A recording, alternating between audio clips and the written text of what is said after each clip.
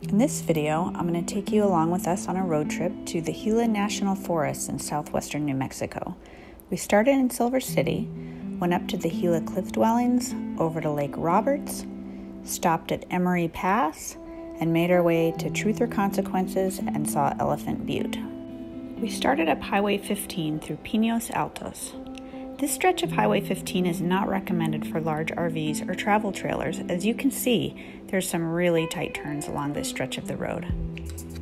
As of early July 2020, this section of Highway 15 between Pinos Altos and Highway 35 is closed due to the tadpole fire. Instead, you can take an alternate route just taking Highway 35 a little bit out of your way. We were in a small passenger car again uh, this past May, so we enjoyed the scenic views along 15.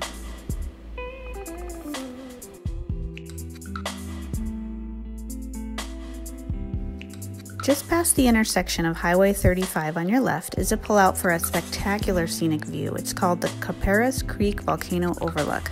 It's also a great pit stop for a snack or restroom break if you need it.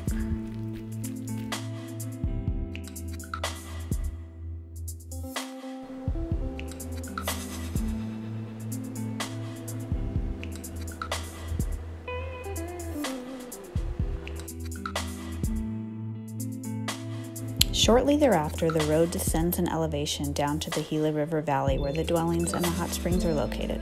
I have a whole separate video on our hike to the Gila Cliff Dwellings. If you're interested, I've included the link down below. Due to the coronavirus, the campgrounds in the area were currently closed. We drove through to check them out. I wasn't really particularly impressed. Here is the Gila Springs RV Park. Some of the other access points to the hot springs are actually privately owned.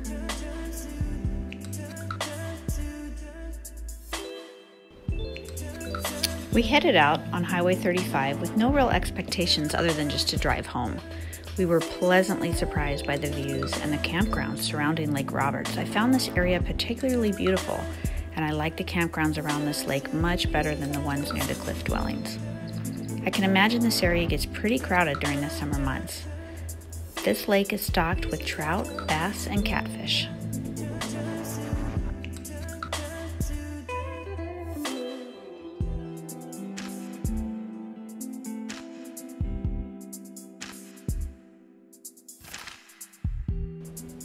Along the way up Highway 152 to Emory Pass, you can see the burn scars from the 2013 Silver Fire. This fire was started by lightning and burned over 20,000 acres. The stop has a fairly large parking lot. It has access to several hiking trails, several interpretive signs, and incredible views. Emory Pass is at 8,168 feet elevation.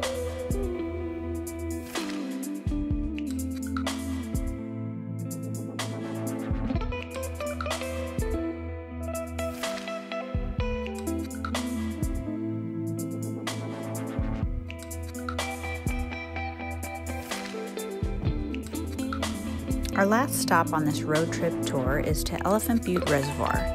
It's located five miles north of the town of Truth or Consequences.